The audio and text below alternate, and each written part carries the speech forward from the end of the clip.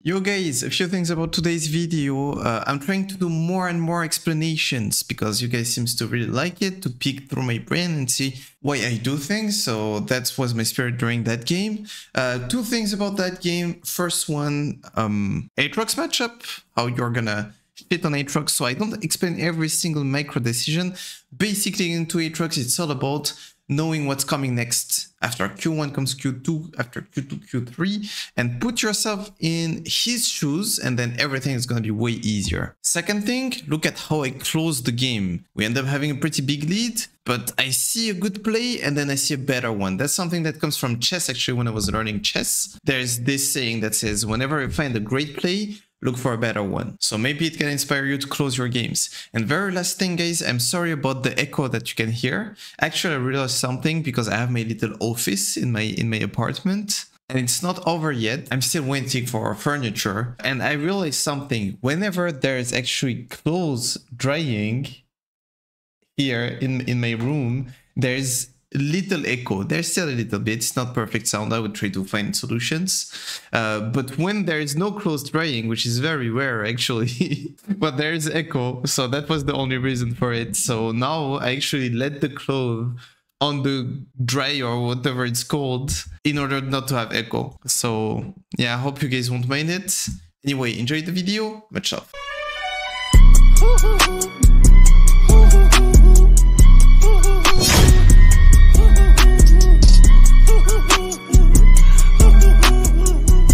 explaining everything. Let's go. So we have an Aatrox matchup with TP. This is very abusable. We're win conditioned by ourselves. Let's look at bot lane.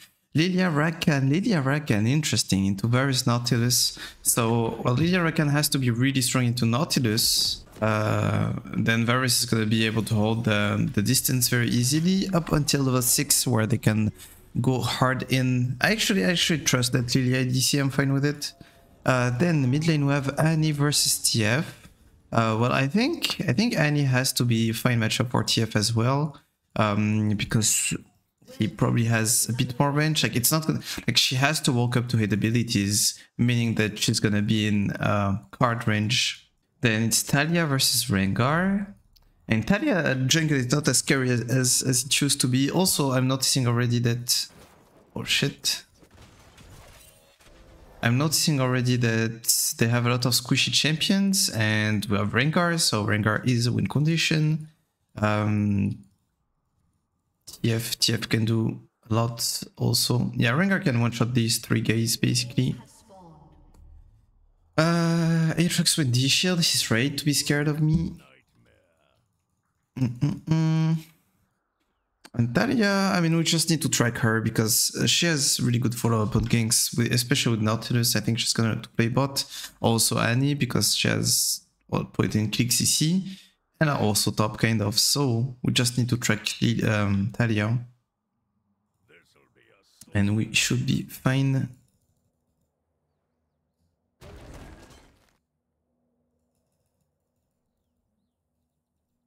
Bro, he's taking... Okay. Not an Aatrox OTP. A good Aatrox would have known that I was in the bush because he drew his sword.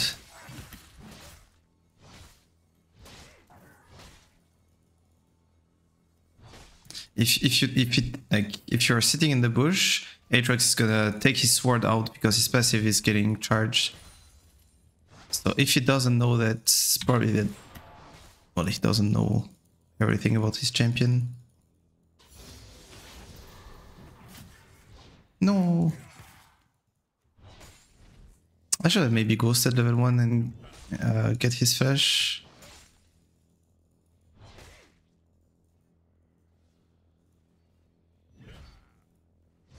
I'm missing a lot of CS for nothing. Also, I missed a bit of XP level 1, I guess.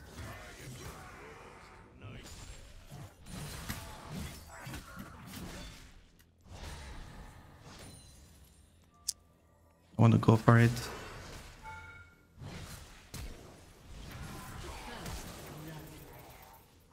Ooh. Nice.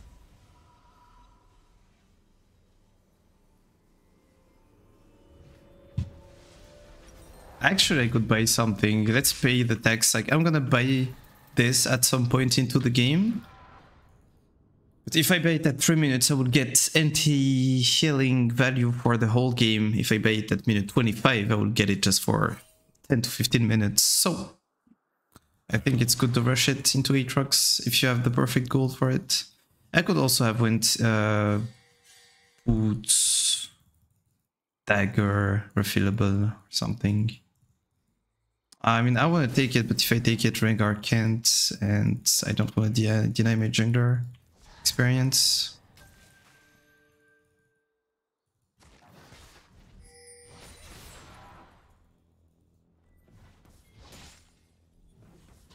Shit. An enemy has been slain. An ally has been slain. An enemy has been slain. Nah, I should have waited my W.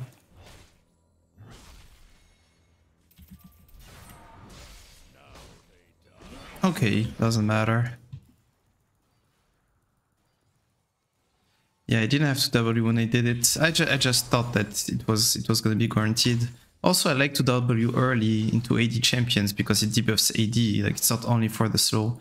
But I need to be better at guaranteeing Ws.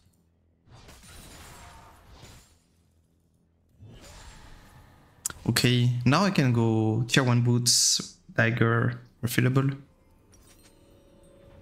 Or this. Nah. Okay, this gives us scrubs.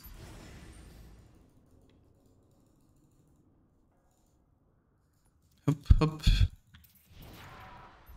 So the wave is pushing to me.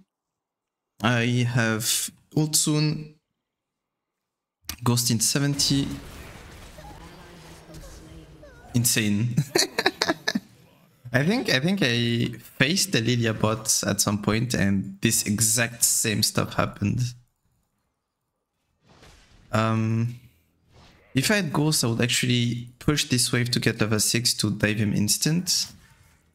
But because I don't have Ghosts, I need to use the length of the wave, most likely. So, well, let it push to me.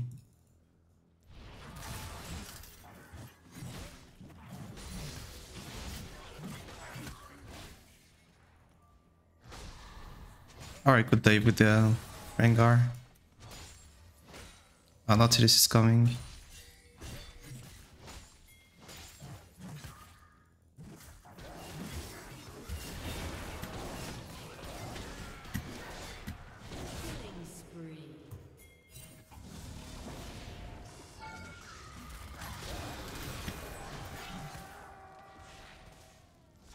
Okay.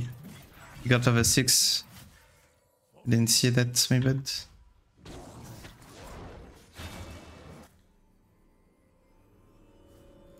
I have tier 2 boots, and I don't want to stay too long.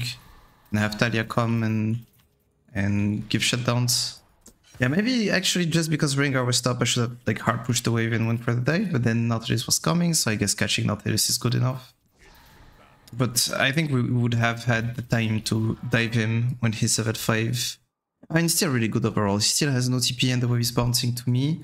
Uh, I'm gonna check those these top games because we haven't seen Taliyah in a long time and my Rengar is playing bot.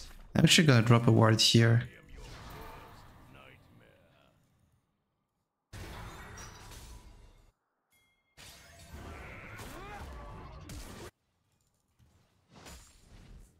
Ah.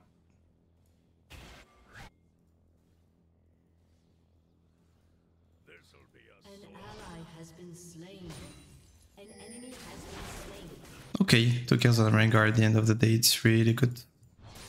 And as we said, Rengar is a win condition by himself because because there are a lot of squishy champions. Well, now safest and most guaranteed play Rampage. Is gonna be to play for my ults. So uh, in 20 seconds, the way will be here. I will have my flash and ghost. And how does Aatrox play it? An enemy has been slain. Spoiler, he can't.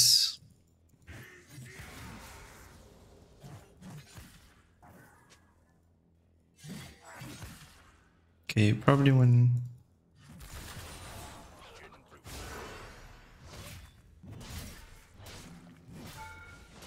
Yeah, trying to take the aggro as late as possible.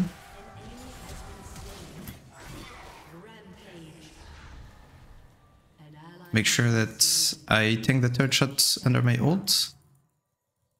And GG.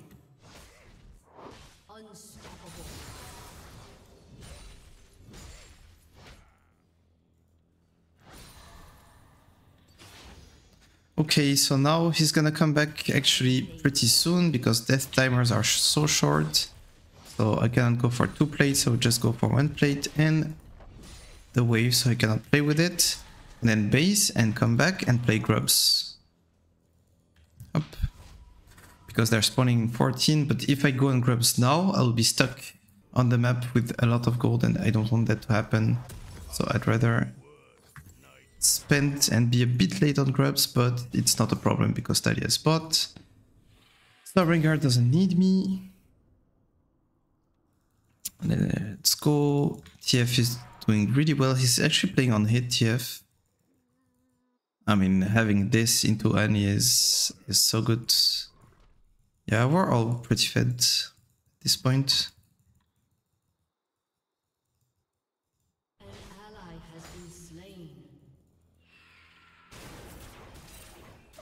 Shit. Yeah, Rakan is kinda griefing it. It's okay. The rest of us is doing really well.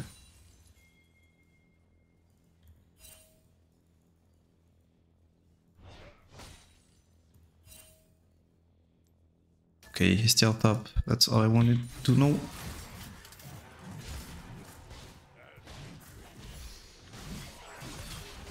Dead.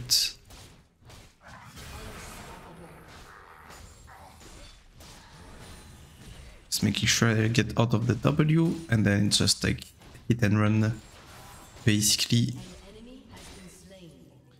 Uh, let's play for plates now. Mm-mm. I can't dive in from full HP. I mean, I can maybe, but it's gonna be really close. And what do I have to win? A kill, which is worth like 150 gold or something. What do I have to lose? 900 gold. Do the math. Oh, it's not worth it. I still want to base for Kraken though.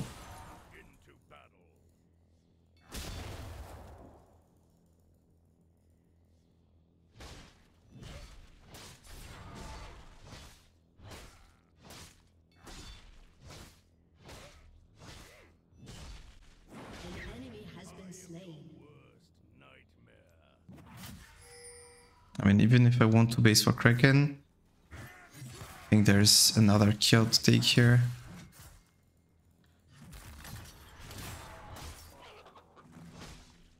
I have Ghost.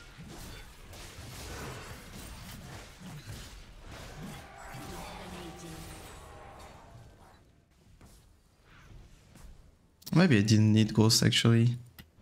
Better safe than sorry. Like I have such a big shutdown, I want to make sure that I don't give it for for free. Uh, Taliyah might be back on map and ult top. I don't see if she ulted or not. But I don't see her bot on the three ward, so I'm gonna consider she's coming top and respect. Otherwise I would have went for platings.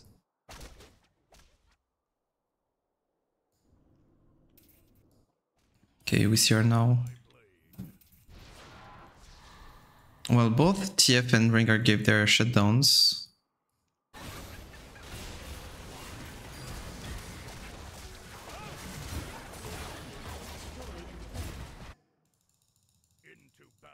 I mean, we're kinda making stupid plays here.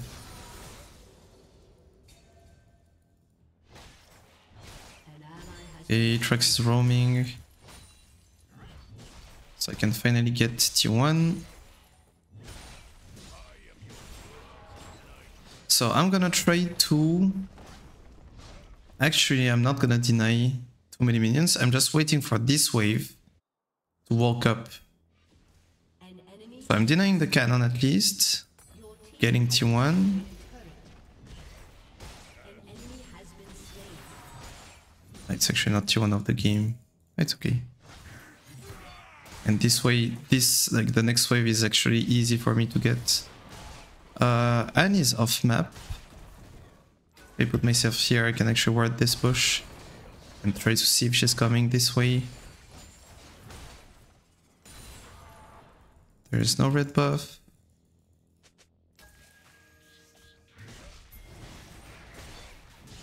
Yeah, my team wants to flex and get kills. Uh, make sure we get objectives.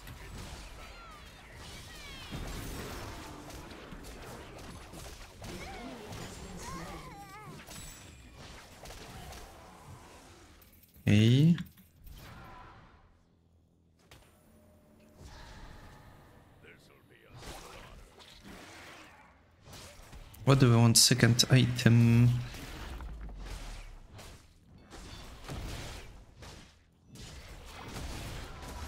I think I want to go Navori. Because it's good for Taliyah, Annie, Varus, and Naughty actually kind of because Naughty is gonna look to kite me, you know. There's a Drake soon. I don't really care about second Drake. I wanna keep pushing our leads. My next item.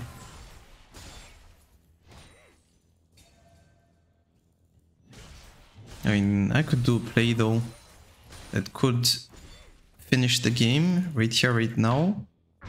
And that would be bring a truck stop. Buy this just because it's like, it, it spikes, you know, spiking. And now actually move to my team for Drake and kill them all on Drake. And end the game from that point. Like they're still fighting and they still have hope. But maybe if we kill them now, it's gonna be over.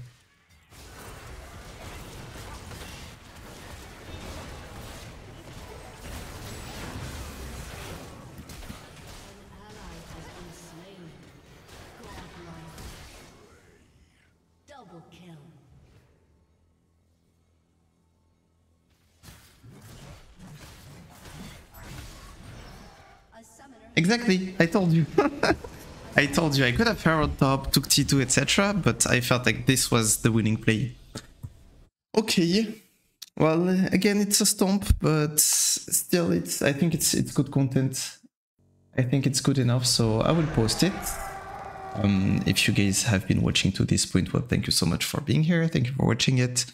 Uh, if you liked it, feel free to drop a like, a comment, or subscribe if you haven't already. Next video is gonna be tomorrow, same time, same place. Until then, take care of yourselves, guys. Good luck on a fun game and in real life. And I will see you next time. Peace, guys. Much love. Bye bye.